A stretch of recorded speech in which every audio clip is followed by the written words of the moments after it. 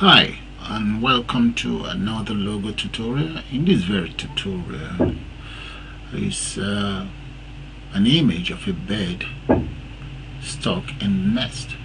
So if you look at the codes behind this you will notice it's a for loop and in this case i is from 0 to 360 which is then used in generating this image of the bird if I let me just get rid of this uh, turtle then you see the bird properly just enter hide turtle right there HT means hide turtle. So you can see the shape of the bird right there. But if I let, let's go back so that you guys see what I'm talking about. Let's just reset.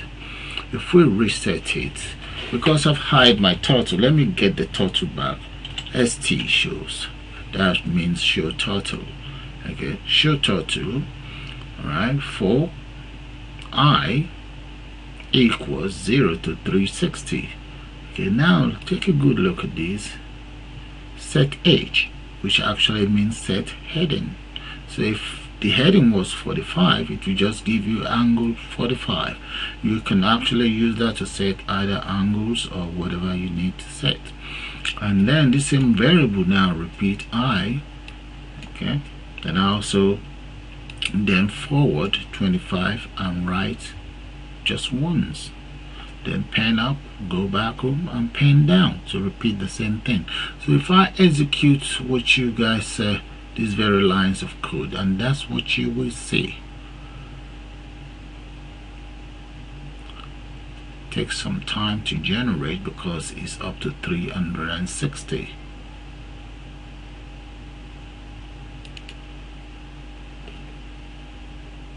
we are almost there now. Okay let's speed it up a little bit and there that's the bed in the nest coming up. Okay there we go guys. Now we are finally there. Okay you see the turtle is back. We're finally there. But supposing the angle is just 45 let me just change that to 45 so that you guys understand what I'm talking about with regards to the set heading reset.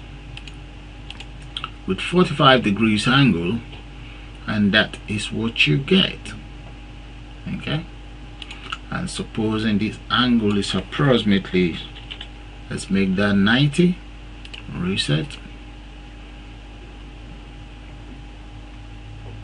You're gonna get it the shape of the bed just showing approximately 90 and the same thing if you go for 180 by now I believe you get the idea. Okay?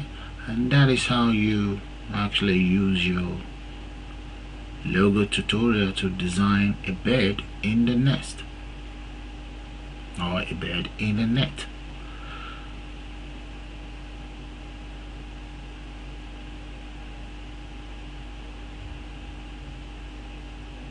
there so I'm gonna call this the end of this tutorial so you all have a nice day now